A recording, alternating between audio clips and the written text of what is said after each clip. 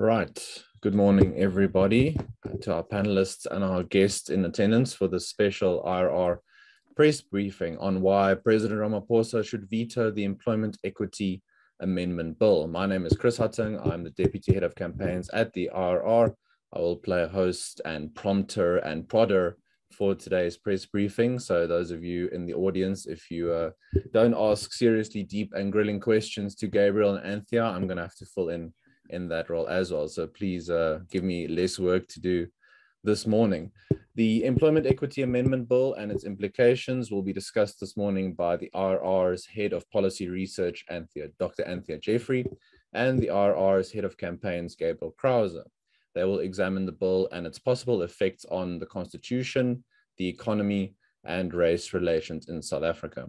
Once they are finished with their presentation, uh, we will have time for Q&A so please make sure that you have those questions ready um, for for our speakers uh, once once they are finished. I will now hand over to Gabriel to get us going. Thanks, Gabriel.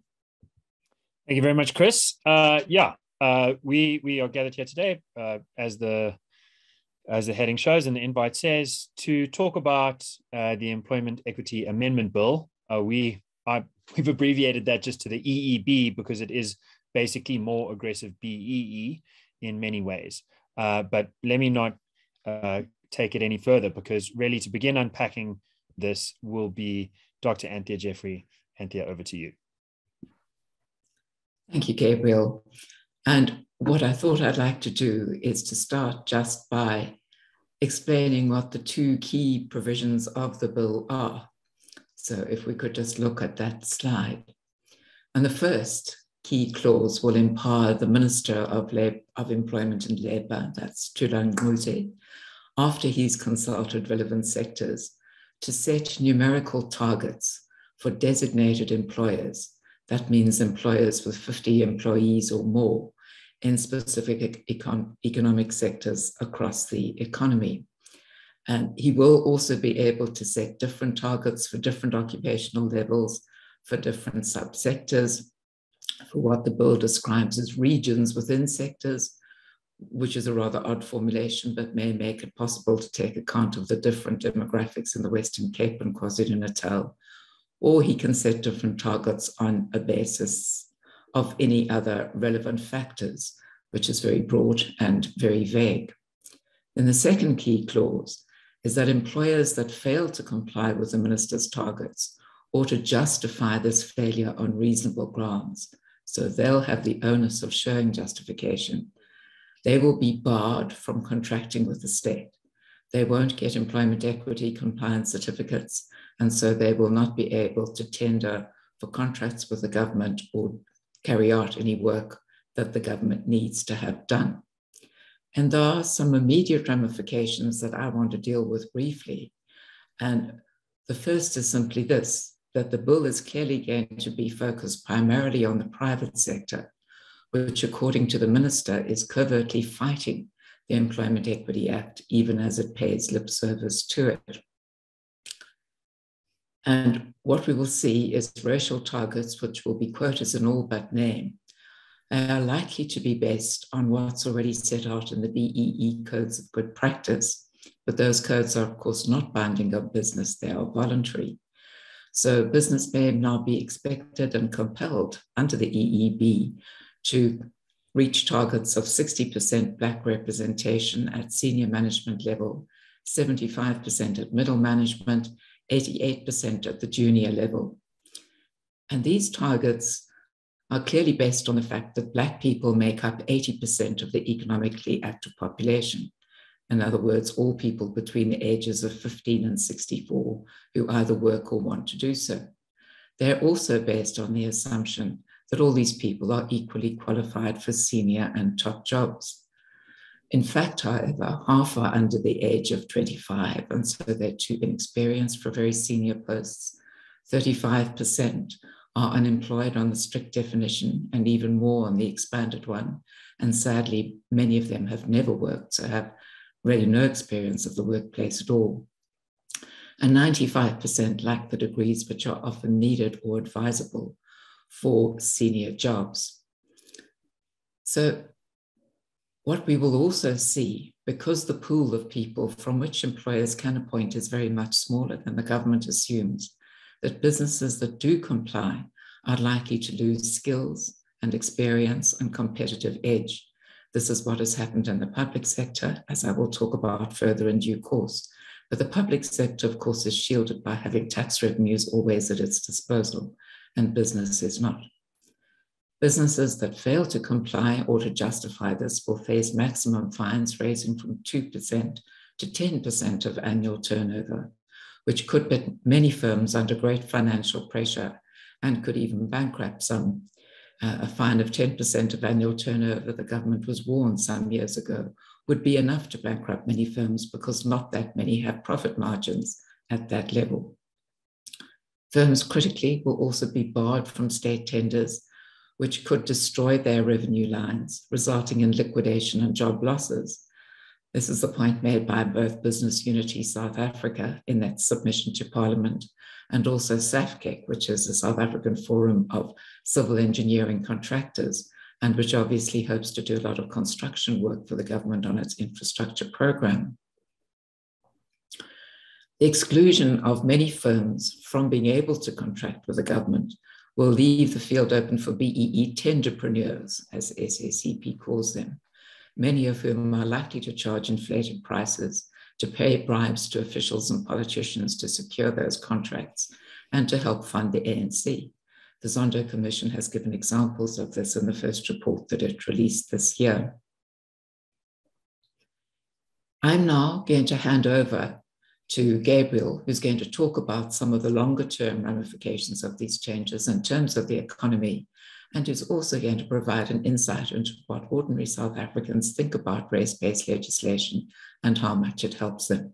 So over to you, Gabriel. Thank you very much, Anthea.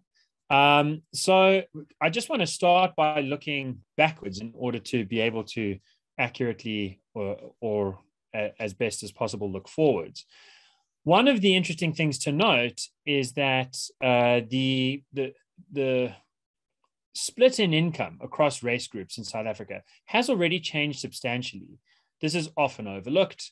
Um, uh, just this week, I was in the Human Rights Commission making presentations about uh, race in South Africa and race relations. And before me, various panelists, some of whom were politicians, had repeatedly said things like nothing has changed uh, and spoke at length as if apartheid continued.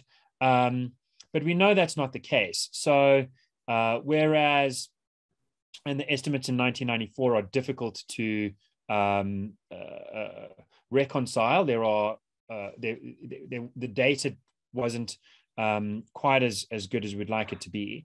But whereas whites certainly earned a majority of income at that period, despite being a minority of the population, things have changed drastically. The 2006 number that you see there before you is almost a 50 50 split in income across uh, the race groups white and black, where black is defined in, in the broad BEE terms.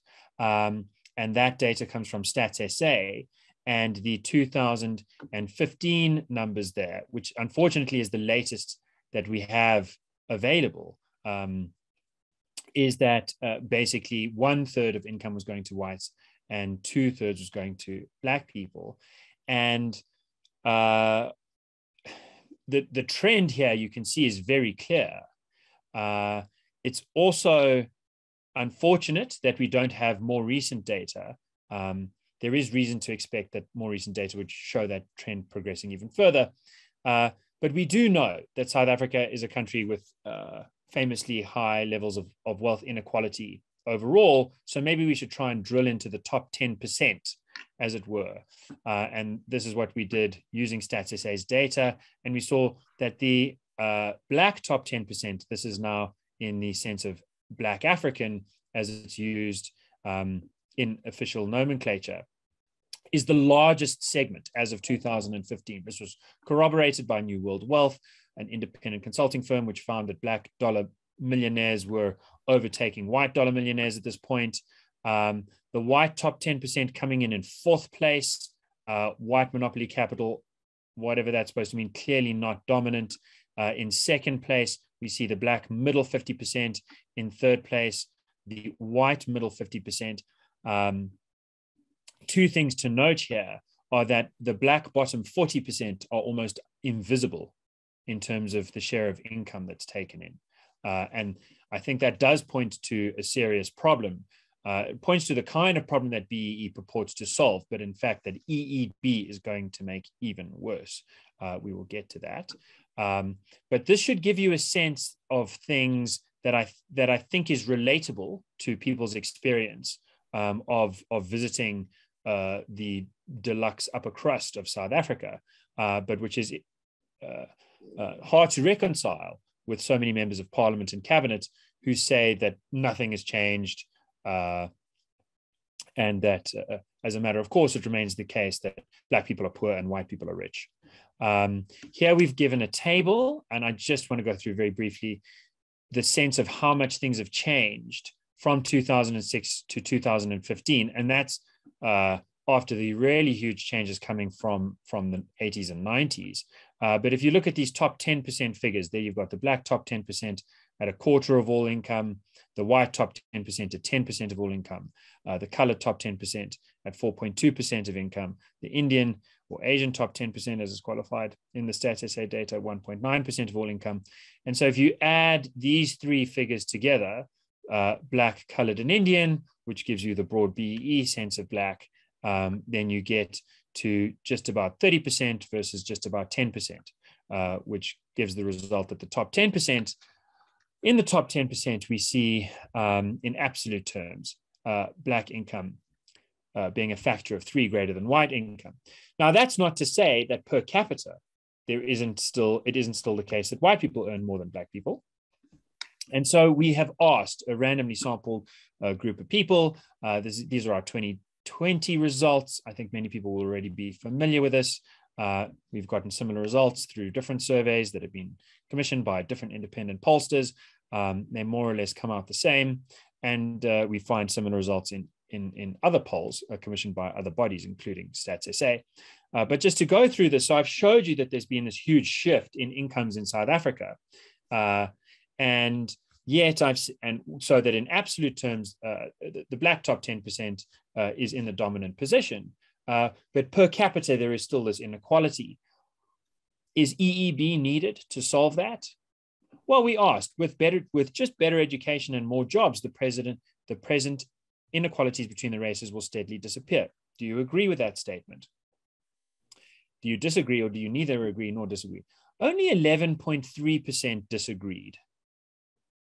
And it's the disagrees you want to focus on because people who disagree that more jobs and better education will make this lingering inequality steadily disappear those are the people who who must believe that for that reason you need something like EEB to step in to make the those inequalities disappear it's a tiny minority who believe that uh, the supermajority three quarters basically think that we just need better education and more jobs uh, to hit the target uh, supposedly that EEB is aiming for.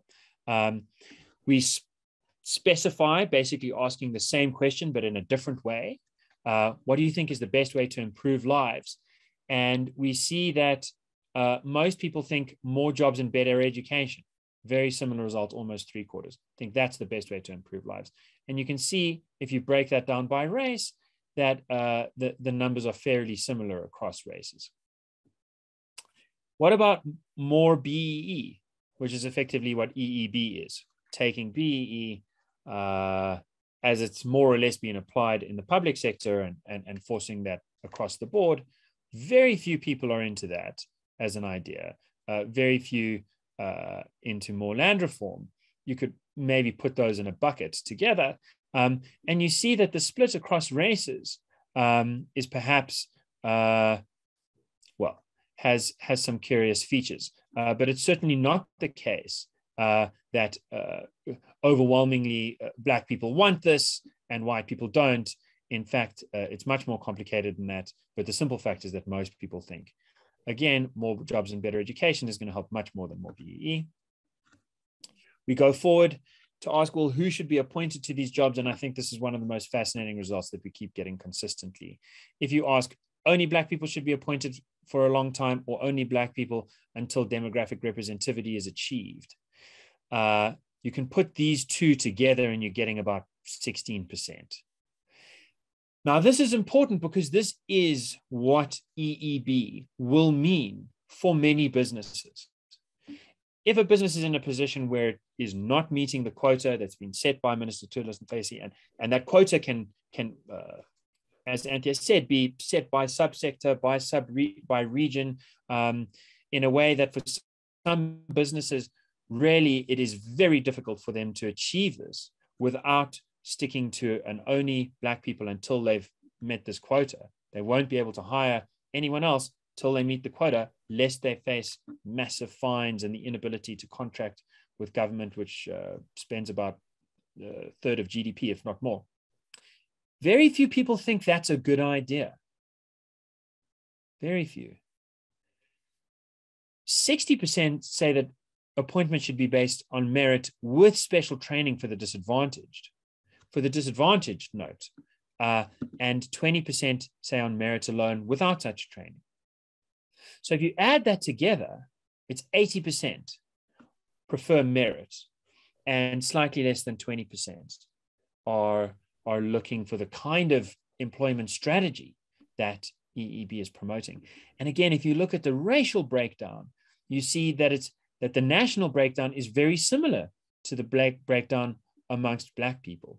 So the idea that there are sort of uh, two South Africas in the sense that all black people think one thing and all white people think another thing, that's that's really inaccurate and not substantiated by any facts, uh, which I think is important. Okay, just in terms of training, we mentioned training there. Uh, we've got a series of questions which demonstrate that that special, you know, special training for the disadvantaged doesn't mean for Black people. It means for people who are genuinely disadvantaged, um, and and combining that with this further question about are people really looking for BEE as a way to dig themselves out of poverty, uh, or or is it or is it something else? This merit-based, better education, more jobs uh, program. We asked would tax funded vouchers for education, healthcare, and housing help you to get ahead more effectively than uh, affirmative action or BEE policies? And uh, yes, overwhelmingly, almost three quarters of South Africans say yes. Tax funded vouchers, which really put the deciding power in the hands of citizens and take it away from the current BEE program. That is much better than more BEE continuing affirmative action. Um, why do South Africans have this preference for merit, given our history of apartheid and and uh, uh, oppressive white supremacist government? Um, well, I think the answer is because things have changed. 80% of South Africans say no to the following question Have you personally experienced any form of racism in the, in the past five years? 80% say no. No racism in the past five years. That's unthinkable in 1976, 1986, 1992. But it's it's the world we seem to live in in the, in the 2020s. We we again we, we keep getting these kinds of results. And, and just for comparison, Stats SA in 2018, 2019 asked a similar question. They asked in the last two years, have you personally experienced any form of racial discrimination? And they had over 90% say no. So you know this is not just us this is not just a pollster methodology thing this is a this is a real result of course on the news a lot of people say i experience racism every day that's what it means to be black but most people including most black people 80% disagree uh, whatever racism means it's the kind of thing that most people are not experiencing and i think that's why we're willing to embrace merit because that's actually the lived experience of most South Africans is to be treated meritocratically and to see the benefits of that. All of this talk of racism and colonialism, the kind of talk that has been coming out of cabinet to motivate EEB, to motivate uh, uh, race-based policy, um, is that is that being used by politicians to to find excuses for their own failures, failures specifically in the public sector that have been letting down South Africans so hard? the majority say yes, including the majority of Black South Africans. So there's a little sort of understanding of, of, of um, public opinion about this. And here's a little bit of an understanding of what the big problem is. The big problem is that unemployment, uh, while it was, um, uh, uh, uh we had the unemployment rate coming down in this period, very important period, from 2003 to 2008 unemployment comes down substantially from over 40% to 29.5%. This was a good period, as it happens before BEE was being fully implemented. And we see, for various reasons to do with the global financial crisis, commodity super cycles, and so on, we see unemployment starting to climb again. And unfortunately, we see this terrible plateau followed by an increase towards the end of the 20 teens. And it looks even harsher if you look at this in terms of the number of people that are unemployed. On the official definition, that is climbing through 4 million and, beg your pardon, I just have to move this, climbing up to, to, to seven and a half million. And if you look at the number on the expanded definition, and this means people who aren't in work and who've also given up on looking for work. These are people who are still looking for work. This extra is that people who, who aren't even looking for work anymore. You see a massive increase climbing up to 12 and a half million unemployed South Africans in uh, Q3 2021. And we don't have a lot of reason to expect that those numbers are going to improve much as Stats, Stats SA releases the latest data. And in fact, we've seen um, a disruption in that Stats SA data gathering, uh, but that's a topic for another day. The point is, these numbers have to be looked at. This is the biggest problem most people identify in South Africa uh, as what government needs to address. And, and I think that anger is, in a way, what is being channeled into EEB. But EEB is not going to solve the problem, it's only going to make it worse. Um, we have been discussing things with the with the policy side with the economic side and the hard prediction that we're making is that unemployment will go through the 50% barrier um, on the expanded definition uh, with EEB implementation. We're currently at 46%. It's going to break through the 50% ceiling. That is going to make us uh, basically a world record um, unemployment uh, uh, uh country. Uh, it's really almost impossible. In fact, I think it is impossible to find a country with such high unemployment that also has um, uh, the, the, the sort of constitutional democracy that, that we live under. Um, now, there are three basic reasons for this, for, this, for this hard prediction. The first is the most obvious, uh, that jobs depend on mixing capital with labor. Uh, when you're when you're a builder, you need the bricks to build with.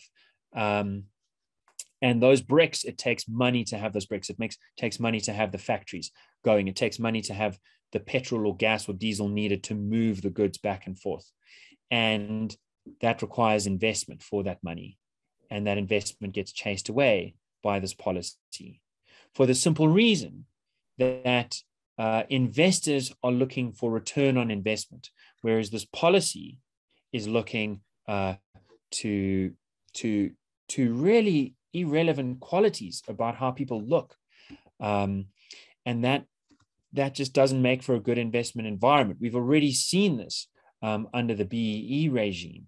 We've seen um, a massive outflow of both foreign and domestic investment and uh, and and and that's and that's going to be significantly worse under the EEB provisions because they are significantly more stringent.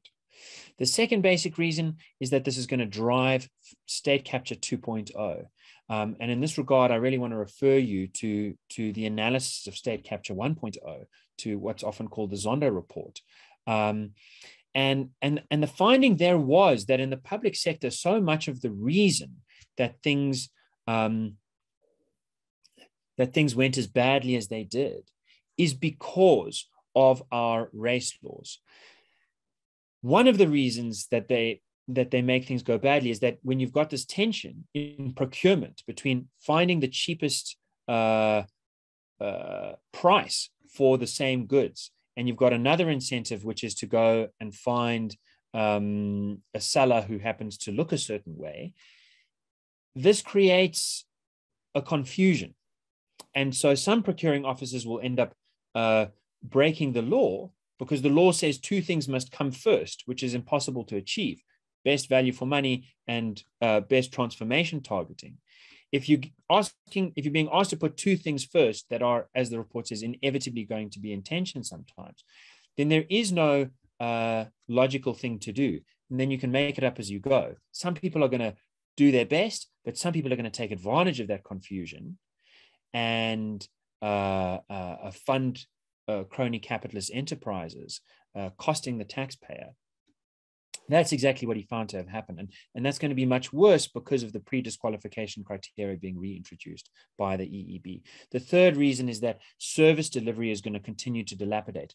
The more we focus on we distract from, from, from the basic failures in service delivery, the longer it takes for accountability to, to move from a slogan to an actual implemented, implemented idea, the more we see um, service providers and especially manufacturers, uh, uh, farmers and so on be unable to get their goods to market, need to move those, uh, those dairies uh, across the country, uh, need to shut down those refineries. Why? Because at some level, it's just the case that the roads are not working. The electricity is not coming in. The water is polluted and unsanitary. And, and it's just it's just not possible to get the work done. So the business is shut down and the jobs continue to be shed. Okay, I'd like to just conclude this um, with a quote from the Zondo Commission report, which really speaks to, to the intractable problems uh, that South Africa faces, as long as its laws continue to have this tension between two projects. The one project being getting the best value for money for South Africans, no matter how we look, getting the best merit in the job, uh, no matter how we look. And on the other hand, this idea of of trying to treat people like um, like like uh, dollops of paint on a palette that need to be sort of mixed together and painted by number to to to get everyone in the in their place. Uh, there are there is this tension in our law, and and and the Zondo Commission said the failure to identify the primary intention of the Constitution is unhelpful, and it has negative repercussions when this delicate and complex choice, and the choices between those two things, has to be made by default by the procuring official. Ultimately, in the view of the Commission, the primary national interest is best served when the government derives the maximum value for money in the procurement process, and procurement officials should be so advised. Unfortunately, we're going in the opposite direction, and that is sure to drive unemployment above 50%. Anthea, back over to you. Thank you, Gabriel. Um, as we've said, the whole purpose of, of this media briefing apart from setting out the facts that you've been informing us about, is to consider why the President, Cyril Ramaphosa, should veto this EE bill. And the answer lies in the Constitution itself, because he has an obligation under Section 79 of the Constitution, if we could just move to that, because it says that he must, he may not sign a bill into law if he has reservations about its constitutionality. So, all the important points that we've been making about how ordinary citizens view employment, action, employment equity and BEE and all the negative economic ramifications are not sufficient for the president to veto a bill. But what is sufficient is if he has reservations about its constitutionality, then he must refer it back to the National Assembly for reconsideration. And there's no doubt but that the EE Amendment Bill conflicts with many provisions in the Constitution, and I can only deal with some of them. If we start with Section 1, this is one of the founding provisions in the Constitution, and it lists non racialism as a founding value with which all legislation must comply. And yet, the EEB is a law that will require race classification and will also require that racial preferences be extended from where they are now. And the ANC really likes to pretend that we can defer the obligation to uphold non racialism until such time as demographic representativity has been reached. But that's not so. The obligation to uphold non racialism is immediate and it can't be deferred. Until demographic representativity has been reached. So it's, it's not as if in 10 or 20 or 50 years' time, then we have an obligation to be non racial. We have that obligation right now. Secondly, Section 9 says that everyone is equal before the law, and it also prohibits unfair discrimination by both the state and the private sector on the grounds of race and on a whole number of other listed grounds. In addition, Section 9.5 states that discrimination on a listed ground, such as race, is unfair unless the contrary is shown. In other words, it's presumed to be unfair, and the discriminator must then rebut that presumption. We also have in Section 9.2 an authorization for affirmative action measures which help those disadvantaged by unfair discrimination. And that, of course, is the basis on which many people have assumed that the Employment Equity Act and now the bill itself, which is tightening up the act, are saved from in constitutional invalidity by the provisions of Section 9.2. But that disregards the key test that was laid down by the Constitutional Court in the Van Heerden case. And that's what I'd like to turn to now. The Van Heerden case was decided in 2004 by the Constitutional Court in a judgment handed down by Judge Dikgang Moseneke. And it said, in essence, that affirmative action measures cannot be presumed to be unfair, despite the wording in Section 9.5 of the Constitution, because, and I quote, they are authorized remedial measures. But the court also said that there are tests to be applied in considering their validity. And those three tests are first, do they target the disadvantaged? Secondly, do they advance the disadvantaged? And thirdly, do they promote the achievement of equality?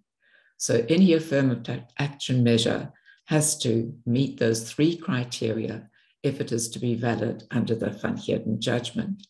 And yet we find that neither the courts nor many other commentators ever apply those three tests to employment equity, see what the outcomes have been, see whether the criteria are met. And that is something which we need to do.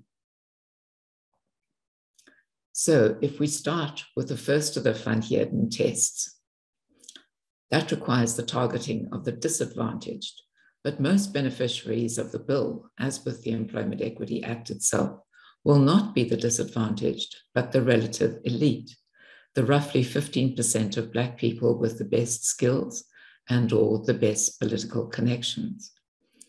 And unfortunately, the beneficiaries will not be the remaining 85% of Black people, many of whom are unemployed and poorly skilled. The great majority of Black people simply have no realistic prospect of ever benefiting from the management and other senior posts under the bill. We have effectively a bait and switch policy being applied. This wording comes from Thomas Sowell, who works at the Hoover Institution at Stanford University, has been a strong criticism of affirmative action in the US for many years. And he says that what happens when a new law is being brought that lawmakers will draw the attention to the plight of the underclass, the Black underclass in America, and will then say that this new bill will benefit them. But that's not what happens when the new bill is implemented. It's the middle class, it's the most advantaged within the disadvantaged group that take the benefit of it. So, effectively, a bait and switch policy from the plight of the poor to the benefit to the better off. And this is also the case in affirmative action policies pretty much right around the world, wherever they are based on race or ethnicity rather than on socioeconomic status. It's always the most advantaged within the disadvantaged group that is able to draw the benefit, what India calls the creamy layer. If we turn to the second Van Heerden test, advancing the disadvantaged, is that's what's happening with employment equity. If we look at the record, rapid employment equity implementation in the public service and state owned enterprises, or SOEs, has brought about a crippling loss of experience, skills, and institutional memory. And it has also opened the way to what the Zondo Commission has spent quite a lot of time talking about in its reports the widespread use of cadre deployment. This is the appointment of ANC loyalists who have few skills and little accountability because they answer to the deployment committees which have given them their posts, not the employers and managers to whom they are formally supposed to answer. And the upshot has been the major delivery failures now common right across the public sector. And I won't elaborate, but just provide a few examples. In schooling, we have again schools in the Eastern Cape which haven't yet received their textbooks, and a court case being implemented to try and rectify this. In healthcare, we have so often medicines which are sitting in a central depot but not being delivered to the clinics where they're needed. In housing, we have so often a period of three to 10 years before we shift from land to stand. In other words, we get to the point where land has been given all the necessary permits and the bulk infrastructure and a housing project can proceed. With water, we have the dreadful situation where wastewater plants are no longer properly maintained and so raw sewage is spewing into the rivers and, rivers and dams of the country at an extraordinary rate, most notably recently in the Vaal. Uh, sanitation, you have new pipes put in, there's a great deal of excitement in communities, and then the pipes crumble and they don't work anymore. With electricity, we're all aware of the poor maintenance at so many of our power stations and hence the rolling blackouts. With infrastructure, worth remembering what Trevor Manuel, of uh, one of our earlier finance ministers said a number of years ago that we just can't get projects off the ground. And so every year there are big infrastructure numbers in the, the government's budget. And every year, much of that money just gets rolled over to the next because projects haven't happened on the ground because of a lack of skills. And we also know that an inefficient public service has restricted investment and hence growth and jobs. The South African economy makes up about 0.4% of the world economy. So potential investors have many other choices before them, and they're aware of the enormous inefficiency in the public service here. We have reams of red tape, but the red tape works very badly. So there's good reason for investors to go elsewhere. And that means that we lose out on growth and we lose out on employment, and we get to the sort of figures that Gabriel was showing earlier. So we haven't been advancing the disadvantage. We've in fact entrenched disadvantage through employment equity. We haven't helped Black people to get ahead. We look at the third of the Van tests. What about promoting the achievement of equality? And here we can see that the figures don't look good. Income inequality on, on the Gini coefficient has worsened. It was about 59 in 1994, but it's gone up to 67 according to the latest World Bank figures. And the reason, according to the South African Communist Party, for this widening inequality is mainly because we have so much greater inequality within the Black population, which, of course, since it makes up more than 80% of the total population, has a huge impact on our overall inequality figures. So, widening inequality within the Black side of the population means really badly widening inequality everywhere. And employment equity has helped to widen that gap. gap. We have 15% of Black people who've done well or relatively well, and 85% who have been harmed by the failing public service, by limited growth in jobs. And we now have 11 million Black people, roughly, who are unemployed and destitute. So great wealth among the few and enormous destitution among the many. And that is what EE has helped to bring about. In addition, just to remind you of the statistics that Gabriel put up on the board on, on the screen earlier, the bottom 40% of Blacks have seen no increase in their share of national income, which was 3.7% in 2015 and 3.4% in 2006. So over that period when BE rules were sharply ratcheted up, the bottom 40% saw no benefit, and it was only the top groups within the Black population that saw an advance. The preferential procurement rules are unconstitutional too. And just to remind you what those rules say, firms that don't comply with racial targets will be barred from contracting with the state, leaving the field open for BEE tenderpreneurs. Around 50% of state procurement, which is worth more than 1 trillion rand at the moment, is tainted by inflated prices and fraud, as the Treasury's chief procurement officers have indicated. This warning was first sounded in 2016 by the then chief procurement officer, Kenneth Brown, who said the percentage was between 30 and 40%.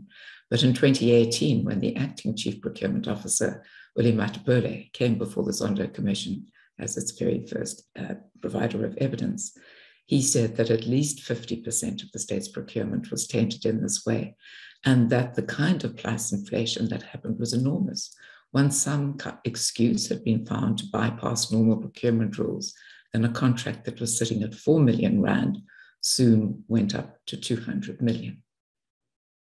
What we have is a rule that limits price inflation. It's supposed to be restricted to 10% on contracts that are worth more than 50 million Rand and 20% on contracts below 50 million under the Preferential Procurement Policy Framework Act or the PPPFA. That basically applies a point system. You can get 10 points for BEE status on those contracts above 50 million um, and 90 points for price. And you can get 20 points for BEE status and 80 for price if the contract is worth less than 50 million. And in rough terms, what that means is you can charge 10% more on a big contract and still win it if your BEE status is correct. But there's supposed to be a constraint on how far price inflation can go. What happens in practice is something very different. The markups are often 100% or more. Pravin Gordhan lamented the fact that the government was commonly paying 40 million rand for a school instead of the 15 million rand that should have applied. Gwede Mantashe has talked about how the state is paying 27 rand for a bottle of water instead of 7 rand, and that this is, is a form of waste that should end. And we had William Mathebula warning that contracts can go from 4 million to 200 million once the normal rules have been in some way bypassed. So, what we see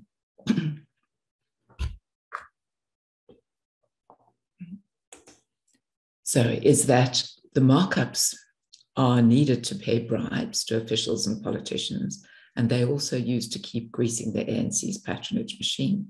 That's why many BEE businessmen have said it's actually difficult not to inflate prices. Yet often the goods and services provided are defective or deficient. In the housing context, for example, you'll find RDP houses that crumble, or you'll find that only 10 or 20% of the total that was promised has in fact been delivered at all. We also know that this is a major additional reason, this flawed procurement, for the failures of the public service and the SOEs. It's only after the bribes and the inefficiencies have been factored in that what's left over can be used for schools, medicines, houses, and all the other things that are so badly needed. Because, of course, the people who suffer the most are the poor Black majority. They cannot afford to buy from the private sector, and so they have to rely on what the state provides.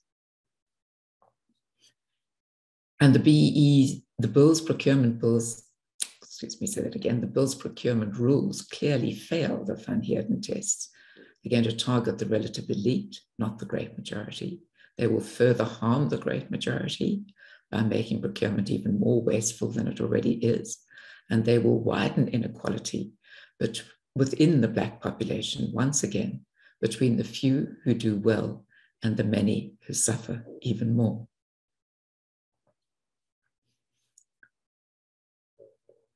This is clearly against Section 217 of the Constitution, which requires, as Gabriel was saying, that all state procurement has to be fair, transparent, and cost effective.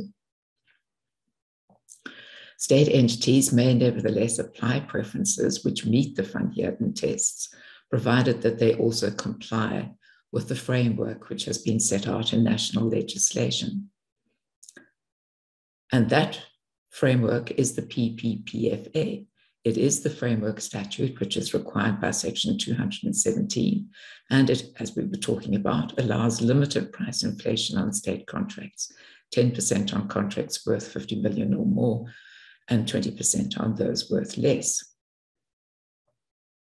But the PPPFA does not allow firms to be excluded from tenders altogether because they have failed to meet employment equity racial targets. And so what we see is that the current system, what is being proposed in the bill, is quite clearly unconstitutional.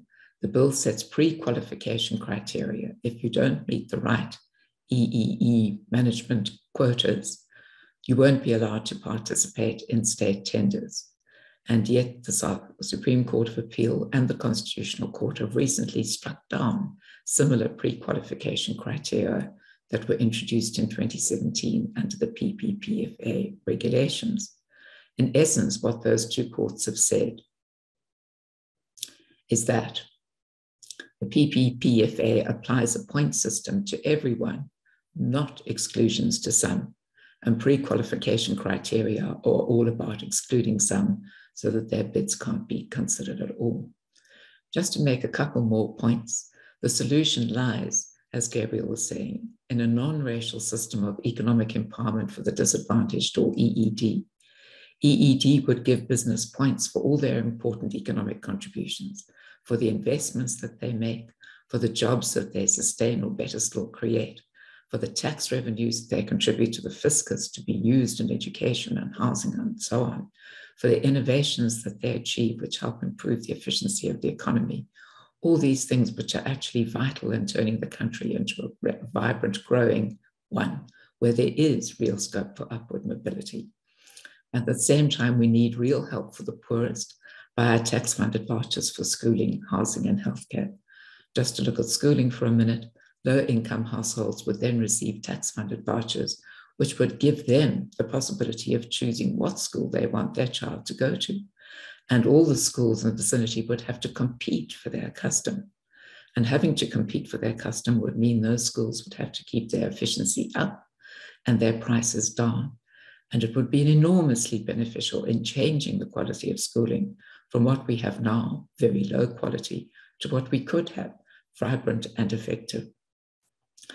The last point I'd like to deal just, just looking a little bit back to the past, because there may be some people who feel that if we change the system, that if we look to benefit really the people who are the most disadvantaged, that this might be bad news for the Black middle class or those who have had the benefit of good schooling already and who have heard the ANC saying for years that it's only because of employment equity and BEE that they have any opportunities available to them at all. The ANC likes to pretend that it's their race based laws which open up opportunities for Black people and that they would languish in the most dire poverty without those race based laws. So let's look back at what history shows. And it shows that the white population was too small to meet the needs of the economy after a decade of rapid growth in the 1960s. So throughout that period, white business was saying to the National Party government, please lift the restrictions on Black advancement. And in 1973, John Vorster, then Prime Minister, finally yielded to that pressure and said he would no longer stand in the way of Blacks moving up into more senior jobs. And so a process of major Black advancement began then, obviously off a low base, but it persisted very strongly and was important and effective. And after 1994, business had even more reason to want to fast track the appointment of Black people into senior posts in business, which was why in 1997, when the Employment Equity Bill was first mooted, um, a consultancy called FSA Contact, which monitored uh, what was happening in 150 firms, reported that 90% of them had affirmative action programs in place, that 60% of them experienced the poaching of their skilled Black employees. In other words, they were having to pay premiums above normal salaries in order to attract Black people into senior jobs. And then they would find that they were poached again by the next business, which was willing to offer them even more. In other words, there was a huge unmet demand for skilled Black people. Uh, it wasn't that there was a racist refusal on the part of business to employ them. And it was clear that if you had a rapidly growing economy and very much better education for everyone, then you would have an organic expansion of employment in which Blacks would participate and get the benefit just as much as whites, if not more, because whites had been too small a group to meet the needs of the economy since the early 1970s. And black skills were absolutely required for the economy to grow. And that's the reality. So if we could get through EED to a rapidly growing economy and good schooling for everyone, then we could see an expansion in upward mobility that would be quite stunning, far better than anything we've ever seen before, and which would reach right down to the grassroots as well as helping the people who are already better off. Thank you.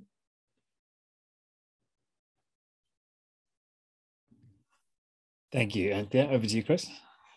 Thanks very much, uh, Anthea and Gabriel. I think an excellent discussion and presentation on what the EEB holds for South Africa were it to become law. Uh, we have at least one question from the audience, and I have a few more from my side. We have about seven minutes left, so we'll try to cover those as well as we can. So our question is from Nicholas Lorimer. Thank you very much, Nicholas. Uh, you mentioned that the minister will be able to demand answers for failures to meet employment goals, the minister presumably having the ability to reject or accept these answers. Would this open the door for corruption by allowing companies on good terms with the ministers to avoid these requirements whilst providing the minister with a tool to punish companies who do not toe government's line? I think, Anthea, maybe you should tackle that one. well, it makes me think of what Jane, John Kane-Berman has often said about the apartheid era and the labor inspectors who did come um, before the rules began to be relaxed. Um, and all the employees who had the bottle of whiskey ready for the labor inspector so that he would turn a blind eye. So perhaps there's still a bottle of whiskey in offices so that the new labor inspectors will turn a blind eye. Um, certainly, there's, there's, there's always going to be maybe more than whiskey there's always going to be an incentive towards corruption when rules uh, cannot easily be complied with, when the rules are unreasonable, when you can't run a sensible business with full compliance with what the government expects you to do. Many people will be tempted to try and find a way around it. Thank you. Uh, to Gabriel, I have a question around your mention of the black bottom 40%. So if the EEB is not the kind of policy that is needed to to move at least some people who find themselves in that bracket because of the wrong policies, if the EEB is not the answer, what alternatives and ideas do you do you have in mind that could rather be implemented that that could focus more on wealth creation and not just patronage and redistribution? Thank you, Chris. Um, I do think that South Africa's political emphasis on redistribution uh, as a way to help the poor really is very, very unfortunate. Um, in the same way that Anthea was saying, the white population is just too small to be able to satisfy the need for skilled labor that South Africa has. It's also the case that South Africa's asset base is just too small to be redistributed uh, in a way that would satisfy the needs of poor South Africans. Um, I think one nice thing to look at is the ratio between our asset base. In other words, adding up all of the assets in South Africa, public and private, netting them of debt. What is the value of South Africa Inc., um, as the late IRR economist Ian Cruickshanks would describe it, South Africa Inc. Uh, what's its asset value and what's its annual income? How much, how much value add is being generated every year through that? What is GDP effectively? Um, and that ratio in South Africa is extraordinarily low. Um, it's one of the lowest in the world. Um, and it's been flat uh, basically since the 2000s. In fact, it's been decreasing as with the capital flight uh, that, that we were talking about. So because the asset base is so low, you, you can't redistribute. What you really need to do is mix those assets with labor in a way that's going to create more value, uh, where people are tapping into that uh, by by adding value and getting um, revenue from it. Uh, this is just restating the question, I guess, uh, to get to the answer. How do you do that? Well, one thing you need to do is to protect the value of assets. Uh, it turns out that one of the greatest sources of value in, in any asset is, is the right in property that the owner has over that asset. Uh, if, if you can if your bicycle can be robbed, uh, you can't very well plan to have a newspaper service delivery uh, small business in your neighborhood as a teenager looking to make some pocket money using that bicycle. Um, you need to be able to keep the bicycle. So we need to strengthen property rights. Uh, in part, that means turning away from the expropriation bill, which continues to try to achieve expropriation without compensation. In part, that means dealing with crime and corruption. Uh, and in part, that means turning away from this discretionary and race based legal framework that we have, which is open to bribery, which is open to all kinds of malfeasance. In part, it means rolling out title deeds to those 17 million, roughly 18 million South Africans living on government land, privatize all of that there are various steps like that that need to be taken. Um, but I think for the long run, uh, there just is nothing like better education for the job that we're looking for. And that's why I think one of the most important questions we have there is, you know, firstly, how would you like to improve the education system? 70% plus, say, through a voucher system that gets them out of the clutches of SADTU, out of the clutches of a sort of race obsessed curriculum changing system and into a position where parents can make their own choice. And then, secondly, do you personally think you would benefit more from a system like that, a voucher based system, than from BEE? Over 70% say yes. We would benefit much more from a system like that than from BEE. I happen to think that the that the wisdom of crowds is is a relevant term here. I think most South Africans have it exactly right. Uh, that is the way forward in the long run. I think with one minute left, that is an excellent note on which to end. As much as we we find, and it's very important for us at the IRR to help communicate the potential negative effects of these bills.